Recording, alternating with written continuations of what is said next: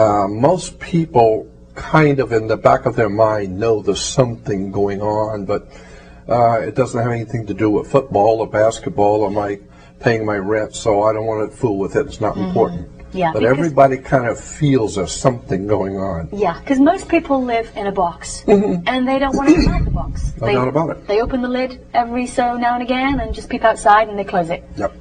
Do you think me. the governments are going to let us know at some point? I think, I'll tell you what, again, it's just my opinion. Uh, Norio Hayakawa. Norio Hayakawa is a very good friend of mine. He's rather famous in the speaking circuit.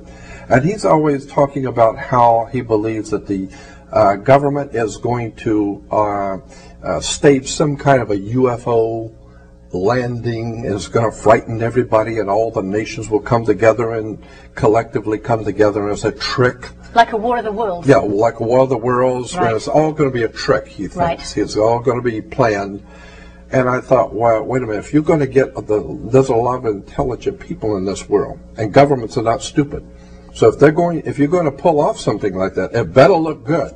Mm-hmm. Because it's going to be. Absolutely. Right, it better look good and very Absolutely. realistic. I have then said, I don't, I can look at the same facts that he's stating and come up with a different uh, conclusion. I'm of the opinion that very well possibly there's going to be an alien invasion. And the government knows it. Right.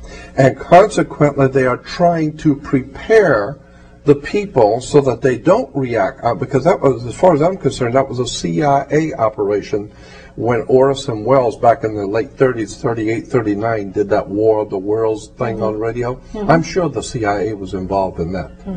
And they wanted to see how the people will react if you, if the people really thought that there was an alien invasion from another world. It was called uh, War of the Worlds Right with uh, Orson Welles, and people went berserk. Well, I don't think they're going to go berserk today. Mm-hmm. I think too many people in this world have already had experiences. They know something's up.